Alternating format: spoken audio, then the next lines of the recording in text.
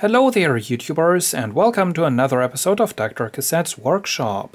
Today we have a USB 2.0 to IDE or SATA converter. It's one of these things that uh, you plug your hard disk drive into and then you can uh, hook it up to the computer via USB. So if you have just uh, a random drive lying around, you don't have to put it into an external enclosure first. Now, it's kind of a handy thing to have. I do have a USB 3.0 to SATA converter. It's kind of a fancy thing that you can put on your desk.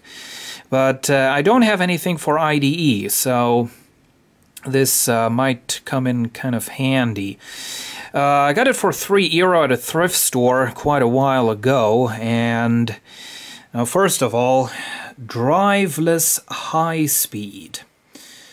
Well, it's not going to work without a drive, because that's what it's meant for. It's meant to be connected to a drive. So, driveless is definitely kind of wrong. Now, what they meant to say is that this is a plug and play thing. You don't have to install a driver first. Um, well, there is that.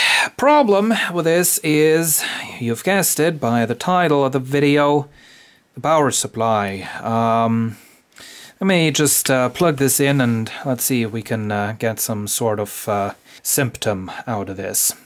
Well, it turns out this is quite a bit of an interesting problem even to diagnose. I mean, whenever I got the thing, I tried it out and it wouldn't spin up any hard drives, and I was like, well, okay, it's broken. Well, I now plugged it in, and as you can see, it does give you the uh, power indicator light, so it can't be completely broken, and in fact, it's not. I am getting 12 volts out of there, and I'm getting 5 volts out of there, if I measure it. However, it's still not able to spin up any hard drives. I just tried a bunch of them, and just doesn't work. So now I have a resistor in here, 33 ohms, so that causes a significant current flow, which uh, should be something around uh, what these would cause when spinning up.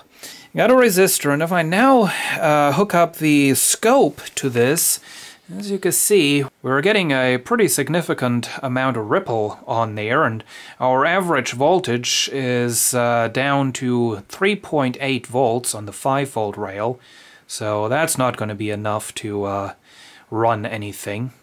Let's check the 12 volt rail. Well, I guess we found the problem. As you can see, there is a huge amount of ripple on the 12 volt rail, and instead of 12 volts, we're getting 1.3 volts. So Something's got to be wrong. Well, I open up the broken power supply and as you can see, this thing is cheap. This is cheap. It's not quite as cheap as uh, some of them are, but you can see there is not a whole lot going on in the way of shielding and, you know, and all that. I don't know, germanium diode in there. I don't know what they are doing with that. Uh, the core of the transformer is loose. So that's not good. So I said, well, you know what? We're not going to fix it. We're just going to throw it away. So what I did was I found this. This is another uh, 12 and 5 volt power supply that actually belongs to an external hard disk drive enclosure. And I thought, well, you know what? This thing looks to be just right. And it was. Um, now, I did have a bit of an accident when I opened this up with a Dremel tool. I, uh, I Dremeled into the capacitor, so uh, that can go as well. Um, I did replace it, as you can see. I did have an almost identical device in my parts bin, so that wasn't a problem. I also Dremeled into this, but it doesn't seem to be damaged. Knock on wood.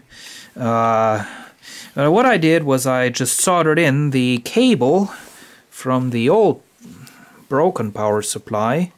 There it is. It's, uh, I think it's a Molex connector. That's what they are called.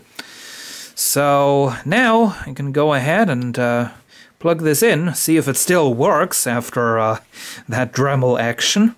And uh, then we can see if this manages to power a hard disk drive.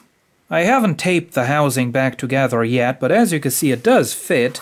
And uh, unlike our last power supply repair, uh, on this time the strain relief actually does work. So that's good. Went ahead and checked the voltages. They are all right. I didn't get any of the voltages mixed up. So now comes the moment of truth. I got this old 80 gigabyte IDE Samsung drive. Let's see if it starts up or if it pops or if it still doesn't do anything. Let's go.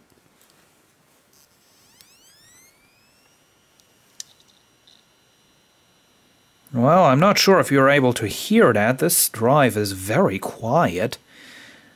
But it spins up and works.